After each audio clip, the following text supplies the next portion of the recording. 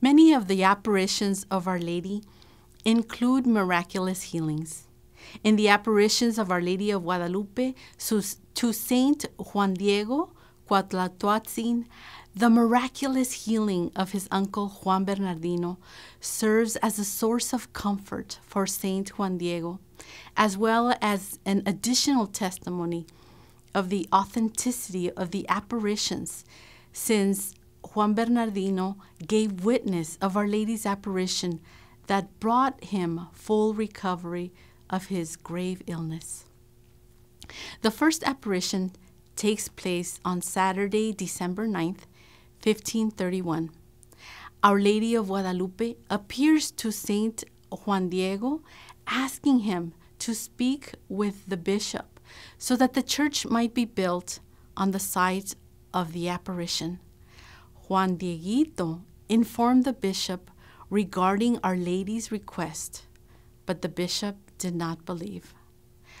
Juan Diego returned to the place of the apparition and told Our Lady of Guadalupe to choose someone else to be the messenger, but she reassured him that it was necessary for him to go speak with the bishop again.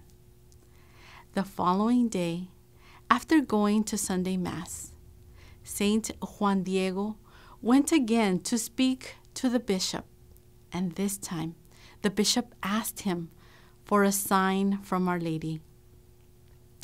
Juan Dieguito informed Our Lady, and she told Juan Dieguito to come the following day to give him the sign for the bishop. The following day, Juan Dieguito's uncle, Juan Bernardino, was sick. He brought his uncle a doctor who confirmed that he was gravely ill and dying of the plague. So Juan Bernardino, feeling that his hour had come, asked Juan Dieguito to wake up the next morning to bring him a priest for, for confession so that he could prepare for a holy death. The following morning, Tuesday, December 12th, Saint Juan Diego was on his way to Tlatelolco to get a priest for his uncle. And it is in this context that Our Lady says the words that we all know so well. Let nothing frighten or grieve you.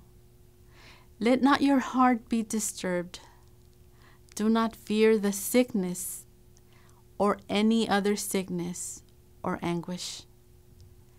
Am I not here who is your mother? Are you not under my protection? Am I not your health? Are you not happily within my fold? What else do you wish? Do not grieve. Do not be disturbed by anything. Besides this, she speaks to him specifically about her uncle's illness she says, Do not be afflicted by the illness of your uncle, who will not die of it. Be assured that he is now cured. I think that it's interesting that Juan Dieguito did not ask for his uncle's healing. She willingly interceded for his healing. She is not blind to our needs. As the Gospel of St. Luke 9:11 states, Jesus healed those who needed to be healed. That's what she did for Juan, Juan Bernardino. It's important to note that Juan Bernardino's healing took place during the apparition. It was a double apparition an apparition to the ill family member, Juan Bernardino, in his home, and to the worried messenger, Saint Juan Diego at the foot of the mountain.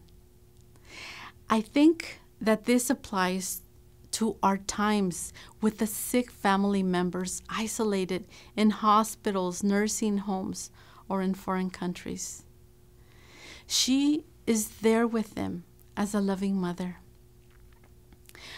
Furthermore, proof that Juan Bernardino is fully healed, Our Lady sends him to Mexico to tell the bishop about the apparitions and about the miraculous healing, as well as to confirm the name by which she is to be addressed the perfect Virgin Holy Mary of Guadalupe. In May 2007, Family Theater organized the Rosary Bowl at the Rose Bowl in Pasadena. It was an evening of praise and worship, testimonies about the Holy Rosary, and the prayer of the Holy Rosary. At that time, I was working at the Catholic channel ESNE and was asked to be an anchor woman for this bilingual event that was going to be transmitted live on channels ESNE and EWTN. The week was loaded with a ton of work translating a thick binder of introductions, testimonies, prayers, etc., from English to Spanish. I divided the work with uh, the guy who was serving as the anchorman. The Rosary Bowl was Saturday evening, but I had two prior commitments. On Friday night, I served as an MC for a fundraiser dinner uh, for a missionary priest. Saturday morning, I participated in our first breakfast conference for women organized by our ministry, Nueva Creación de Dios, from 9 a.m. to 12 noon. By 2 p.m., I was at St. Alfonso's Church since I had, ha- I had organized to take two busloads of parishioners to the Rose Bowl. With all that I did that week, Friday night and that Saturday morning, I was exhausted when we arrived to the Rose Bowl. I needed a bed, not a microphone. While we were reviewing the program, someone brought two more testimonies to be translated from English to Spanish. So I got one, and the other anchorman got the other. I told the, the anchorman, Will you please read the testimony so that I can hear it while I translate it simultaneously in my mind? I really felt so drained that I could not even think straight. I began to plead to the Lord to help me. I closed my eyes and I, I was begging to the Lord to please help me, help me, Lord. I'm so tired, help me.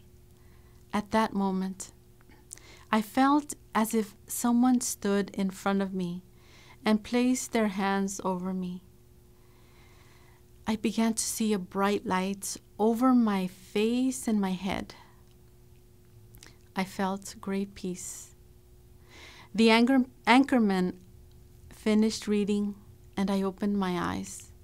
When I opened my eyes, the exhaustion was gone.